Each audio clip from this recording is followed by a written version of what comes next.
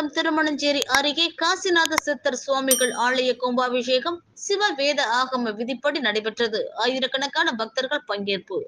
மயிலாடுதுறை மாவட்டம் திருமணஞ்சேரி அருகே பூச்சொட்டி கிராமத்தில் பிறந்து வாழ்ந்து வந்த ஸ்ரீலஸ்ரீ காசிநாத சித்தர் சுவாமிகள் இவர் கும்பகோணத்திலும் பூச்செட்டி கிராமத்திலும் திருநீலக்குடி பகுதியிலும் வசித்து தன்னை நாடி வரும் பக்தர்களுக்கு அருள் ஆசி வழங்கி பல்வேறு நபர்களுக்கு நோய்களை தீர்த்து வைத்தார்.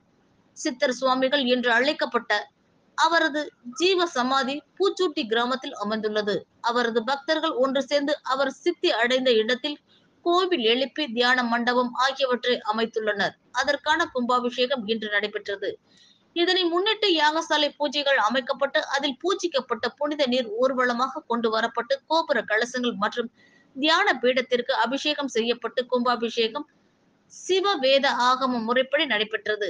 ஆயிரக்கணக்கான பக்தர்கள் பங்கேற்று சுவாமி தரிசனம் செய்தனர்.